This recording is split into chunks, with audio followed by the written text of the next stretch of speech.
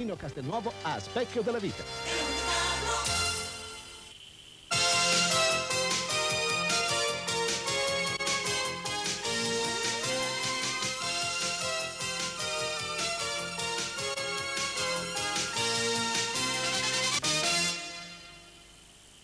Buonasera, i timori sono ormai certezza, non c'è nessun superstite purtroppo nella sciagura del DC-10 francese precipitato ieri nel Niger.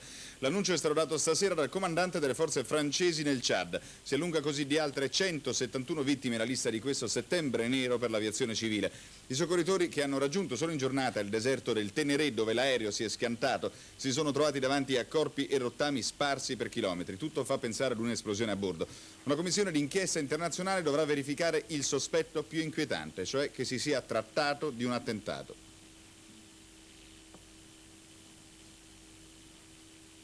L'esplosione in volo dell'aereo in servizio da N'Djamena a Parigi per conto della compagnia privata francese UTA sarebbe stata di eccezionale violenza. Un attentato, forse anche se alla rivendicazione avanzata a nome della jihad islamica non si dà molto credito. Da un punto di vista puramente tecnico, gli esperti affermano che questo incidente è senza spiegazioni. Ipotesi, solo ipotesi, decompressione esplosiva, cedimento della struttura e poi un'altra domanda inquietante. Cosa ha impedito all'equipaggio di lanciare il minimo allarme?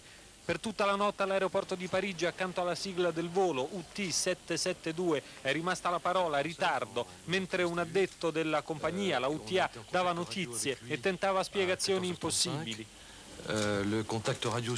I soccorsi sono resi particolarmente difficili dalla zona stessa in cui l'aereo è precipitato. Si tratta del cuore dell'Africa. Si lavora con gli elicotteri in un raggio di un centinaio di chilometri. Questa è infatti la superficie sulla quale giacciono i corpi ed i rottami del DC-10. Il recupero della consueta scatola nera consentirà forse di capire qualcosa. Dirà se si tratta veramente di un attentato oppure se aeroplani, compagnie, strutture, tutto ciò che ruota attorno a questo mondo va messo sotto accusa e con la massima severità. La politica internazionale, Mikhail Gorbaciov ha vinto ancora. Con un nuovo colpo di mano del leader sovietico, la riunione plenaria del Comitato Centrale Comunista si è conclusa stasera a Mosca con la destituzione di cinque fra i massimi dirigenti del vertice del partito. Fra loro esce di scena il potente Vladimir Sherbisky, l'ultimo dei Brezneviani, segretario del partito ucraino, e poi Viktor Chebrikov, fino ad un anno fa capo del KGB. Al loro posto otto nuovi membri destinati a rafforzare la linea riformista del Cremlino. Cinque vittime eccellenti per il socialismo riformato, tutti appartenenti alla vecchia guardia. Con queste clamorose estromissioni il gruppo riformista legato a Gorbaciov segna dunque un altro punto a suo favore e di applausi a scena aperta, il segretario generale del partito in questi due giorni al plenum ne aveva collezionati parecchi, quando in apertura dei lavori aveva detto no alle rivendicazioni separatiste delle repubbliche, riaffermando invece il centralismo democratico e l'unità del partito.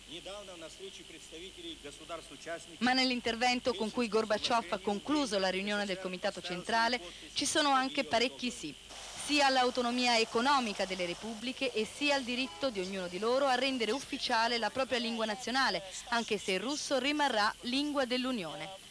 Moderato, cautamente innovatore, il leader sovietico è uscito ancora una volta vincitore dalle molte insidie di questo plenum, ma per dare nuova spinta alla sua perestroica, il leader sovietico ha bisogno di un comitato centrale più aderente alla politica delle riforme.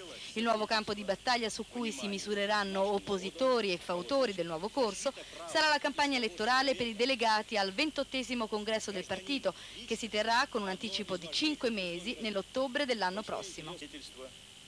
Intanto il ministro degli esteri sovietico Shevardnadze è in volo verso gli Stati Uniti. Nel Wyoming incontrerà il presidente americano Bush e il segretario di Stato Baker. Al capo della Casa Bianca Shevardnadze consegnerà un messaggio di Gorbaciov definito molto importante, contenente proposte concrete per la riduzione delle armi nucleari strategiche. Intanto la Mosca, il portavoce sovietico Gerasimov, ha espresso soddisfazione per la disponibilità americana a trattare anche per i missili mobili a lunga gittata. Ultimi preparativi in Cambogia, dove tra poche ore comincerà il ritiro delle truppe vietnamite. L'esodo riguarda 50.000 soldati, ovvero l'ultimo scaglione del contingente che nel 78 invase il paese per porre fino, fine al genocidio perpetrato dai Khmer Rossi di Pol Pot. Il ritiro delle truppe vietnamite si svolgerà senza alcuna supervisione internazionale, a causa del fallito accordo tra le fazioni in lotta per il futuro assetto del paese. Ora una breve pausa e poi le altre notizie di stasera.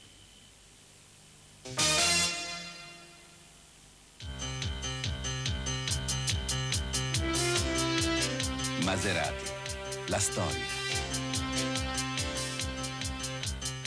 Maserati, l'assoluta stabilità in curva. Il perfetto equilibrio delle masse.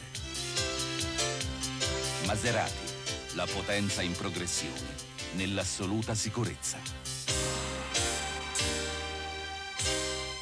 Maserati, il traguardo. Non parlatemi di soldi, per me è un periodo nero. Ho chiesto in giro per un prestito, ma ragazzi, che sventola di interessi. Beh, per fortuna che c'è la IFI. Con noi operai la IFIP ci va piano con gli interessi. E il prestito lo paghi con piccole trattenute sullo stipendio. E poi te lo danno subito. Allora posso avere... Biglietti Sì, biglietti, bigliettoni. contanti. Milioni. Milioni. IFIP a Milano in via Vitruvio, a Roma in via Flaminia, a Genova in via Ippolito d'Aste, a Firenze in via Puccinotti. Le notizie dall'Italia. Si va rapidamente normalizzando la situazione ai valichi italo-austriaci dopo lo sblocco dell'avvertenza dei camionisti. I primi tir sono ripartiti all'alba di stamane dopo la decisione delle associazioni di categoria di far rientrare la protesta durata otto giorni. Sono ormai quasi concluse anche le operazioni di rimozione degli automezzi lasciati incustoditi dai camionisti, rientrati a casa in attesa della soluzione dell'avvertenza. Lo sblocco è stato possibile grazie ai 4.000 permessi di transito per l'Austria ottenuti dal ministro dei trasporti italiano Bernini e alla promessa di rinegoziare l'accordo con l'Austria. La politica italiana. L'ex sindaco di Roma Pietro Giubilo ha rinunciato a presentarsi nelle liste DC per le elezioni comunali del prossimo ottobre. Giubilo lo ha reso noto oggi in una lettera al segretario DC Forlani. L'ex sindaco, la cui giunta è stata travolta dagli scandali, dice di volersi mettere da parte per non creare problemi al suo partito e tuttavia definisce ingiuste le accuse contro di lui. Capolista della DC a Roma sarà un esterno della politica, il rettore dell'Università di Tor Vergata Enrico Garaci. Si è conclusa in serata, dopo oltre quattro ore di confronto, la riunione tra governo e sindacati sulla manovra economica. È solo un inizio, anche se non negativo, hanno commentato al termine rappresentanti di CGL, Cisle e Will.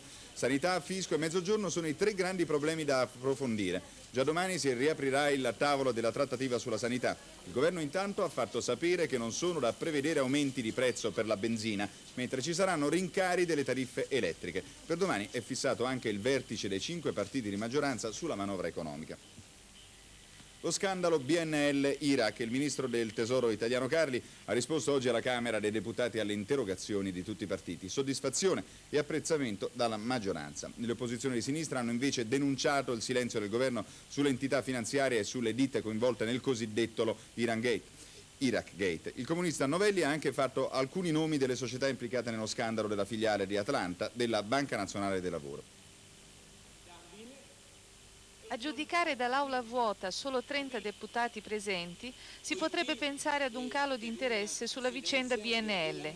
Il ministro del Tesoro Carli ha impiegato circa un'ora per rispondere alle nove interpellanze e 12 interrogazioni parlamentari presentate da tutti i gruppi politici. Carli ha fornito qualche informazione tecnica in più rispetto a quanto già riferito giovedì scorso al Senato. Gli accertamenti in corso infatti hanno rivelato altre operazioni irregolari di prestito non riguardanti l'Iraq.